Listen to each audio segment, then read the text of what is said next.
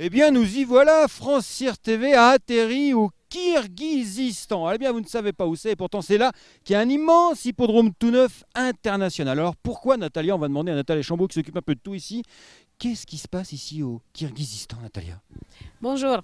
En fait, c'est euh, l'aboutissement d'un très très grand projet. Euh, le, pays Kyrgyzstan est peut-être le plus éloigné de l'Europe et le moins connu que tous les autres pays de l'Asie.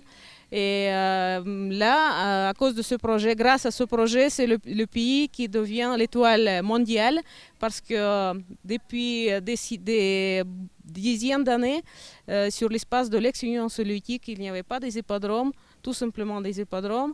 Mais cet hippodrome, ce sera le premier hippodrome euh, conforme aux normes internationales.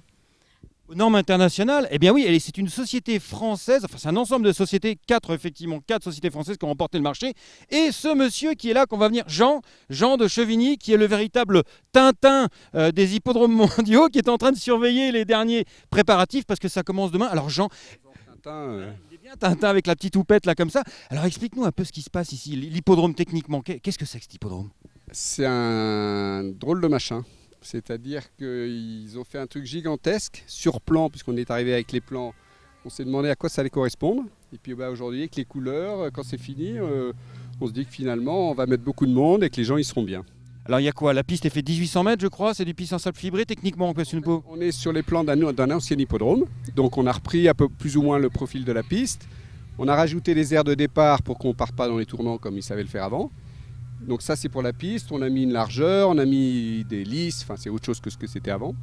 Et puis quant à la tribune, bah écoute, c'est les architectes locaux qui l'ont dessiné et on s'est appliqué à essayer de leur dire comment on pouvait améliorer ce qui, le travail qu'ils avaient fait. On peut mettre du monde là hein? Là on peut mettre 10 000 personnes. 10 000 personnes. Et donc, c'est toi qui es chargé de donner la note pour savoir si l'hippodrome va être, avoir l'agrégation internationale.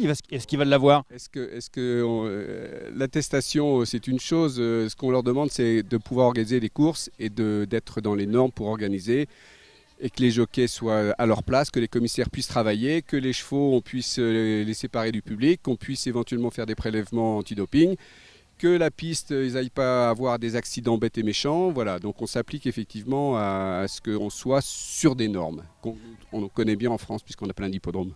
Et eh bien voilà, nous sommes à la veille de l'inauguration officielle et puis bah, dans quelques jours, ce sera les courses ici, les courses sur 20 km. Mais ça, je vous en laisse la surprise. Ciao